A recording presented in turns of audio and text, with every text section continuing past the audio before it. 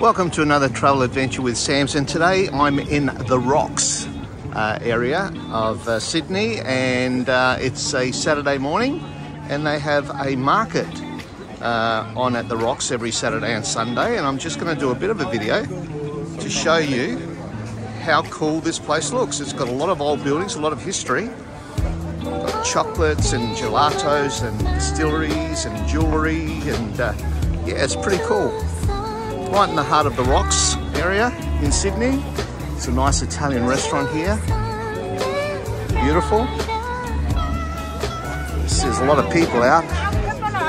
It's actually winter, but uh, the sun's shining. It's about 18 degrees Celsius and uh, everyone's out having a, a really lovely time at the Rocks Markets. So here we go, just having a, a bit of a look just to show you what it's like. If you remember, I've done a video on the Salamanca markets in Hobart, which is uh, a lot bigger, but um, this market, albeit a bit smaller, still has a really great feel and vibe to it.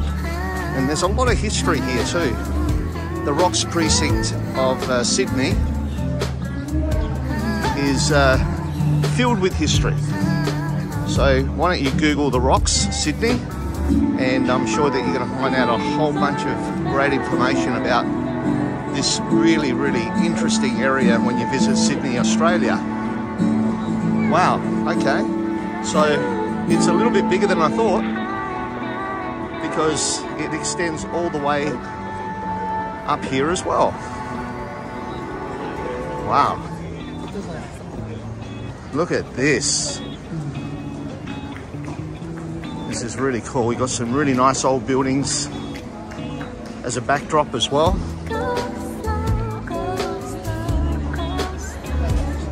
Barbecue station, potato twist. This must be the, the foodie area where you can come and get uh, some nice little snacks as you're uh, around the, the markets. This is a really cool area here. Looks like uh, a purpose-built area for the markets. Again, it's on every Saturday and Sunday, and uh, it looks pretty uh, looks pretty popular to me. Okay, so we're we're under cover at the moment. See if I can navigate my way through because there's a lot of people here. Wow. Yeah, so it's going to be a little bit hard to navigate through because, as I said, there's so many people, but uh, we'll try our best. Okay, now we're starting to move now. Some jewellery. Wow, look at all the people. Incredible. Okay, we're, we're stuck. We can't move. what do we got here? All right. Yeah, well, looks looks like we're uh, not moving too far, but uh, okay. Let's see if we can clear the roadblock. Here we are. Okay, we're moving again. There's uh, some areas on the side where you can actually sit down and have a few drinks while everyone's out here shopping. Thank you. wow, got jewellery,